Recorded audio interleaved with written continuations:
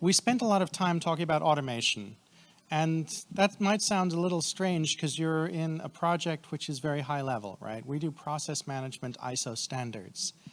The reason we covered automation is because our greatest concern isn't the existing process standards. Our greatest concern is making sure the market adopts and applies these to fix the supply chain. Uh, and the biggest feedback we've had in the last year has been automation is critical and it's hard to get, particularly open source automation for open source tooling.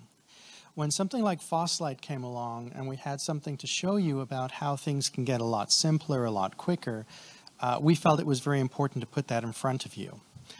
And you should be aware, if you don't know already, that OpenChain has an extremely active automation group. It meets every two weeks, I think. And this automation work group is focused on mapping out the capabilities of tools like this, finding market gaps, and then seeking ways to close those market gaps. The end goal is that a company looking at something like OpenChain would then ask the question of what SBOM do I use and quickly locate something like SPDX. And then ask the question of how do I automate it and quickly locate a tool that they can download, install, and use, uh, even if they don't have technical capability. Our very best case study came approximately two years ago when one of our Chinese board member companies purposefully prevented their OSPO accessing the technical team and asked the OSPO to set up, um, at the time, Fossology and SW360. They budgeted three hours and they took a week and then gave up and bought Black Duck. Now, the reason that they did that test was actually to see what would be happening in their supply chain for teams with limited technical capability that start thinking, how do we get started? How do we begin to do automation once we understand that we're going to have a process, we're going to have an SBOM, how do we make sure that can scale? And their discovery was that there's a market gap on implementation, and we're still filling that. Stuff like FOSSLight are promising examples of how we can fill it. And that's why we're talking about it. This project, OpenChain, is concerned with the practical market reality. Now, I'm not sure where the, oh, you have a HDMI thingy. Okay.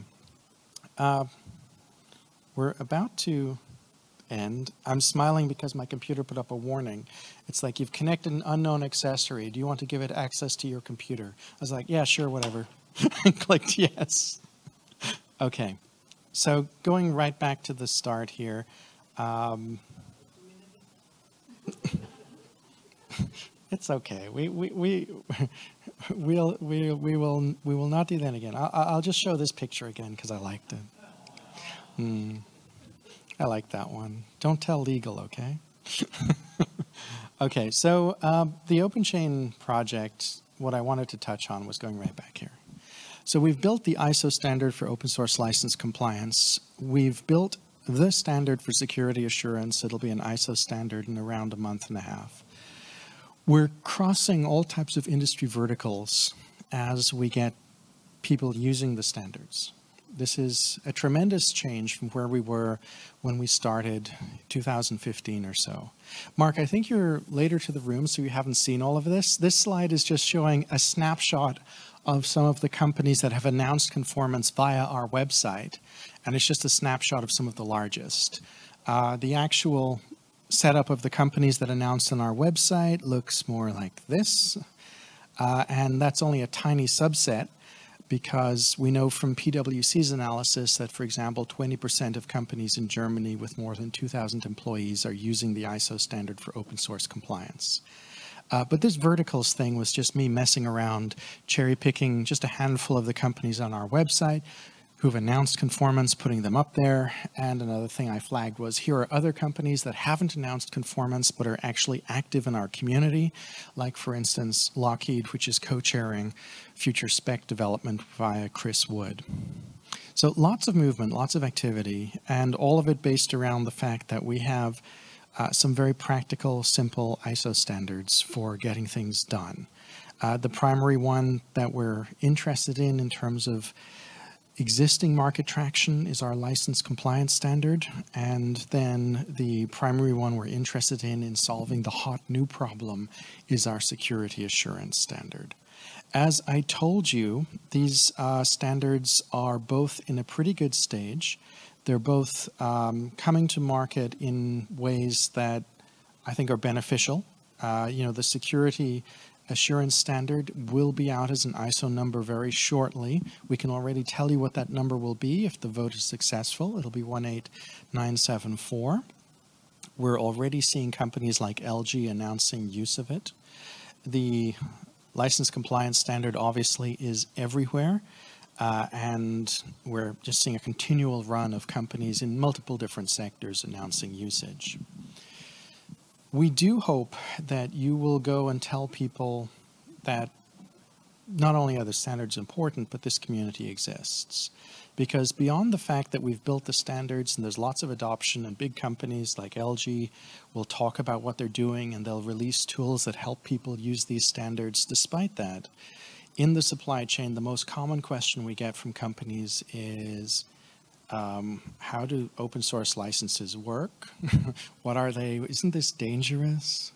So we're still at the stage for most of the supply chains level is pretty much zero. Okay, so one of the big jobs of the OpenChain project is to provide a way to capture people and to guide them towards the information they need. Obviously, we want them using our standards, but to get to them to that stage, uh, we have meetings all over the world in multiple languages. We've got global work groups, and we've got an enormous reference library of over a thousand documents to do everything from explain what is open source to give people adoption Kanban workflows. And what I hope is that you will go and tell people about this. If you're new and curious and confused about all the stuff we talked about today, come to our website, learn about it, join our calls, everything is designed to try to get the help and support from the most knowledgeable people or from the biggest companies out to everyone else as quickly as possible. No limits, no catches, no nothing. Uh, for us, it's simple. The better the supply chain works, uh, the more all of us can focus on getting great solutions to market. Final note as we end, community, of course, is number one, and there's Soham again. Hi, Soham. Uh, at, the same time as having a great fun community, um, we're also truly a community org, and we're aware of one thing that, what's this? What's this hacking my computer now? Oh, my computer's got a security response. Sorry, Soham, I'll fix it. Okay, so uh, we're very much an open source project. I mentioned we edited our standards on GitHub, we do our calls, but more than that, we're aware of something which I think is vital to keep reiterating to solve compliance and security in the end for the supply chain, we have to solve final upstream. Okay, so what we're doing, a lot of it is the corporate lifting that has been incredibly hard to build traction on. But at the same time as that, we're not losing sight of the pure community side of things and helping projects fostering that type of engagement and interaction. One thing that you probably didn't see on the slides uh, to end is that on this massive list of um, companies and organizations, somewhere down here is Eclipse Foundation. Eclipse Foundation is OpenChain ISO 5230 conformant, all of it. Every project in Eclipse is following our processes for our standards. Software bill of materials, compliance, they're doing that. And you know, this is kind of our vision that the whole supply chain from beginning to end will have better process management, save time, save money, reduce risk, et cetera, et cetera, et cetera. So please be part of that.